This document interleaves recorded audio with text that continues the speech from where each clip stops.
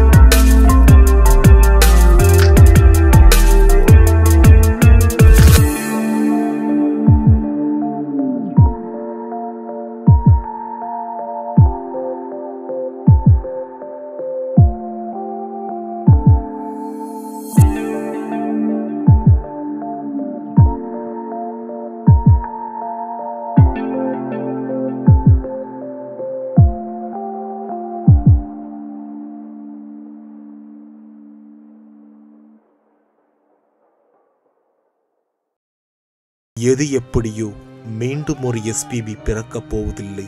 SPB அவர்களின் நாற்பதாயிரத்துக்கும் மேற்பட்ட பாடல்கள் இன்னும் நாற்பதாயிரம் வருடங்கள் ஆனாலும் அழியப் போவதில்லை என்பதில் எந்த ஒரு ஐயமும் இல்லை. எஸ்பிபி எனும் மூன்று வார்த்தை பாடல் உலகம் என்று ஒரு புத்தகம் இருந்தால் அந்த புத்தகத்தின் முன்னுரையில் எழுதப்பட வேண்டிய முதற் பெயர் எங்கள் எஸ்பி பாலசுப்பிரமணியம் அவர்களே.